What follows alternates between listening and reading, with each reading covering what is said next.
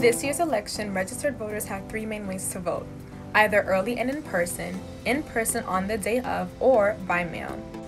In the tri state area, New York is currently the only state that is allowing voters to vote early starting on October 24th to November 1st.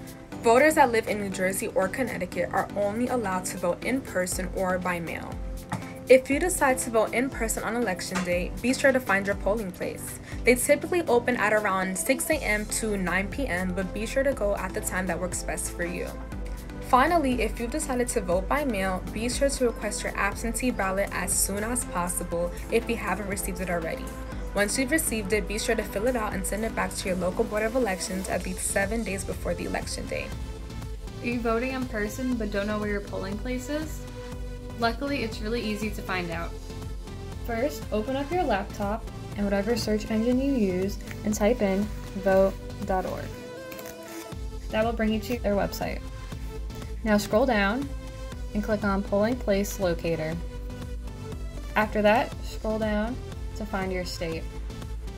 Once you find your state, you will click on it and they will ask you for information such as your address and name. Just fill that out and then they will give you your polling place location.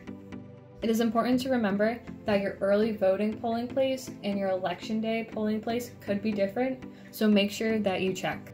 Since the election is coming up on November 3rd, you may be wondering, how will I know what is on my ballot? In order to get more information about what will be on your ballot from credible resources, make sure to check out vote411.org.